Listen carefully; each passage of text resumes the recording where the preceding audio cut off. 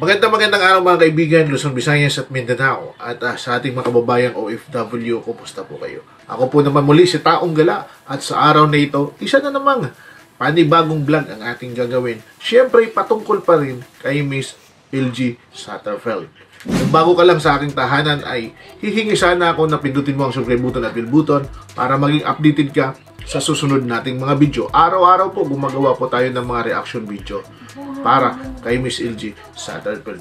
Ako po nga muli ay nagpapasalamat din sa ating mga bagong kapamilya na yumaka po ng ating channel.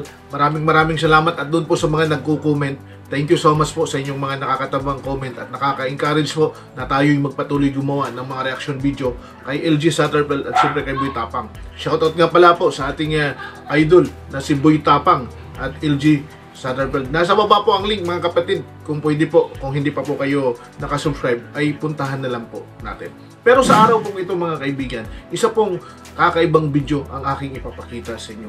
Alam niyo po, sa paghahanap po po ng panibagong update kay LG Satterfeld nang sa ganun ay meron akong maibigay sa inyo. Napadako ako sa isang uh, napakagandang vlog. Ito po ay pagmamay-ari ni Sir My Alter Ego.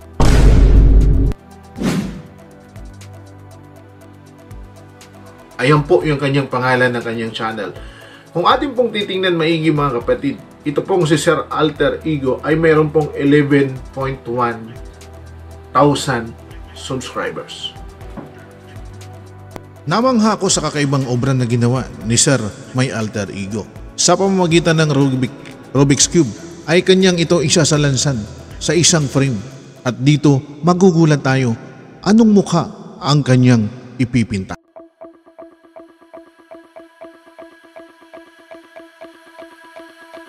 Isa sa nakapukaw sa aking atensyon ay ang kanyang pagsasalansan ng mga Rubik's Cube upang mabuo ang isang larawang kanyang ipipinta. Mula sa mga iba't ibang kulay ng Rubik's Cube, isasalansan niya at isasaayos.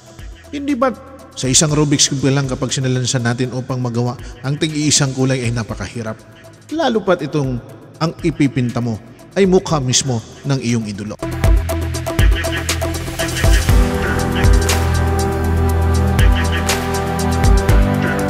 Habang tumatagal ay lalo akong nagiging excited. Pataas ng pataas ang kamata at unti-unting nakikita ko ang paghuhugis ng kanyang ipinipinta. Nasilayan na natin ang labi, kunting bahagi ng ilong at mata. Kita nyo, parang kinakabahan na ako dito. Sa wakas, ito na, mabubuo na. In one, two, three.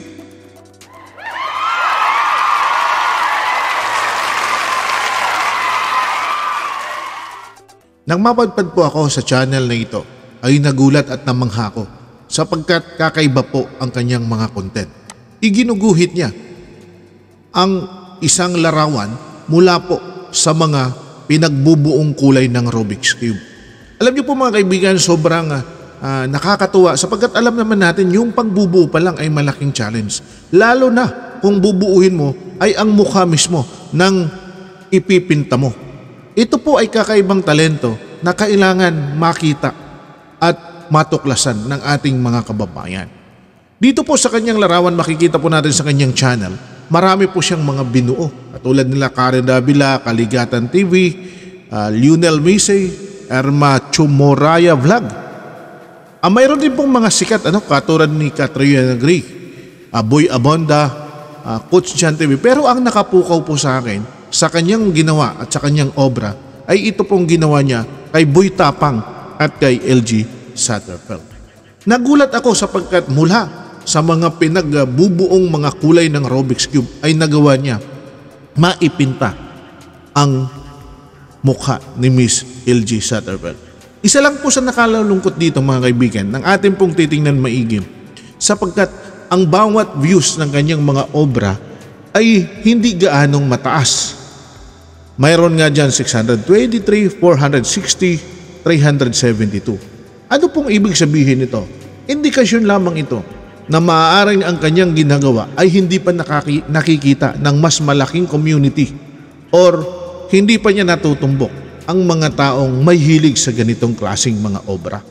Sawan sana po, ah, Sir, may alter ego sa pagkakataong ito ay madiscovery itong iyong gawa sapagkat ako nga po ay humahanga sa kagalingan ng isang katulad mo, lalong-lalo na po ng iyong magawa itong kay Boy Tapang at kay LG Satterfield. Naway ito ang magbukas ng pintuan sa iyo para higit ka pang makilala at dumami ang iyong mga views.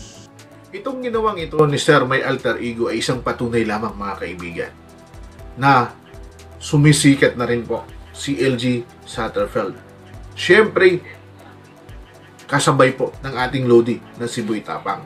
Kaya hindi po ah, tayo magugulat na sa taong ito maaaring makuha niya ang kanyang 1 million subscribers. Pag nangyari yun, siyempre, ang mga sambayan ng Katapang, ang kapamilyang Katapang, ang mga followers at nagmamahal kay LG Satterfield at kay Boy Tapang ay siyempre matutuwa. Naway, ang dalangin lamang natin ay hindi magbago itong si Miss LG at ah, patuloy pa silang magbigay ng pagka, pagbibigay kilig sa kanilang mga followers. Sa katunayan, inaabangan ngayon kung ano ang kasunod nilang video. Marami nga pong nag-PPM sa akin kung ano na po ang kasunod. Pero tulad yun ng sinasabi natin, habang wala pa silang ibinibigay na panibagong update ay tayo po ay nagsasaliksik sa mga ilang pang video na pwede natin mabigyan ng reaksyon nang sa ganun ay makita natin ang ilang magagandang kaganapan. Sana dalangin natin na magtuloy-tuloy na makuha nila ang tagumpay. Sa bawat tagumpay na kanilang makukuha ay kasama din tayo dun ng mga followers. Hindi sana sila magbago sa pagbigay saya sa mga followers. At syempre, ang pinakakaabangan nito ay kung kailan maaanunsyo, di po ba? Sakali man, ang kanilang formal na pagpapakasal. Ito po yung talagang sobrang nakakakilig na moment, no, mga kapatid. So, maraming maraming salamat po sa inyong pag-aabang at sa inyong pong pakikinig. Dalangin ko lamang sana na wag nating i-skip ang ads. Tulong na rin po ninyo sa channel na ito. Patuloy po tayong magbibigay sa inyo ng mga updates patungkol po kay Miss LG Satterfeld at siyempre kay Boy Tapang kung ano man pong mga kaganapan. Ako po muli si Taong Gala. And shoutout po sa ating mga kaibigan na patuloy na sumusubaybay. Higit lalo po yung mga nagbibigay komento sa ating pong channel.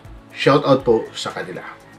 Mega love shout out to Elizabeth Chato, Richard Ad, uh, Abadenes, Ufa Energy, Enzo Taxi Driver, Idna Lopera, Juicy Pipe Channel TV, Eduardo Brondo, Muto Jos TV, Brett Cañete, Jerry Alog, Indayan Channel, Alejandro Coracha the Master, Roldan Ibatuan, Ariel Pasagag Pasagdan, Kuya Wangbo, Nida del Rosario TV, Simply Lace Channel, Buhay Jeepney Driver, Juicy Pipe Channel TV, Jonathan Romena, MT Blanks, Jocelyn Santillan Vlogs USA, Amigo, Amiga TV. Maraming maraming salamat po sa patuloy ninyong pagsubaybay sa ating mga video. At tayo din po ay nagpapasalamat sa lahat ng ating mga kaibigan na nagpindot ng ah, membership button. Tulong na rin sa channel na ito. Sila ang ating mga kaibigan na patuloy na nagbibigay suporta sa ating pong buwanan para sa kanilang membership. Maraming maraming salamat to Lynn Herakawa, Unica Angel Team, Leonie Ariola, Angels Rhyme, Arubanoli TV, Amapba Almero, Welver Machua, The Motivation Collective Channel, Joselito Masibak, Norberto Rodriguez, Joda Rees, Juan Channel, Clarita Di Mayuga, Triple E Motoblanc, Grisel W, Bundok Tralala, Dat Gonzales USE, Los Bemen Band, My Mother's Diary, and Wandering TV. Maraming salamat po sa inyong patuloy na suporta sa Taong Gala Channel.